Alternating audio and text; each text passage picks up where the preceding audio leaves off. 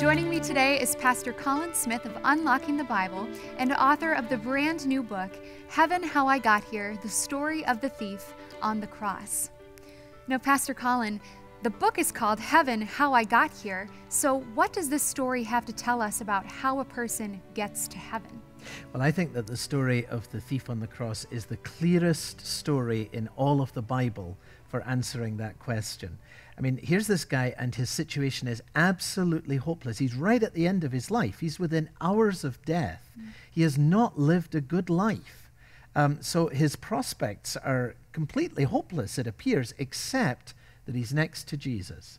And uh, the first thing that he does is he becomes aware that he is a sinner. Uh, he says about Jesus, This person has done nothing wrong, but he says to the other thief, We're getting what our deeds deserve. So he knows that he's not on the right side of God. He's not pretending. He knows that he is in a hopeless situation, that he's, that he's a sinner. And, and that's the first thing. I've got to recognize my need. I've got to recognize that I'm a sinner. And then he believes in the Lord Jesus Christ. He, he says, Remember me when you come into your kingdom. Uh, so he's got some trust that Jesus is a king. There was a sign above him. This is the king of the Jews.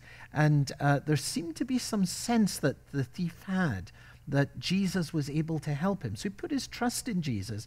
And because of that, he asked Jesus, You know, remember me. Will you do this for me?